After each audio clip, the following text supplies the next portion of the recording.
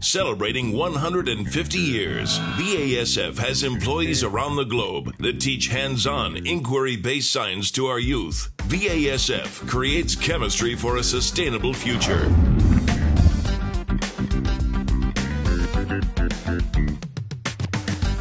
Welcome to Science Club with BASF. I'm Lily. I'm here with Product Manager Jared O'Connell from BASF.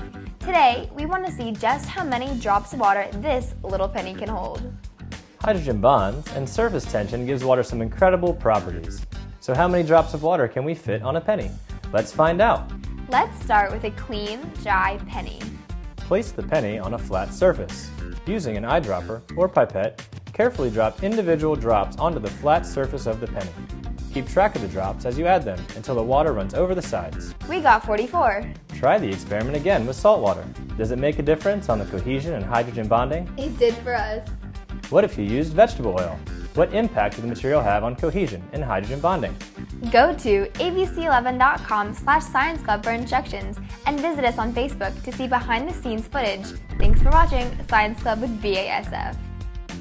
Celebrating 150 years, BASF has employees around the globe that teach hands on, inquiry based science to our youth. BASF creates chemistry for a sustainable future.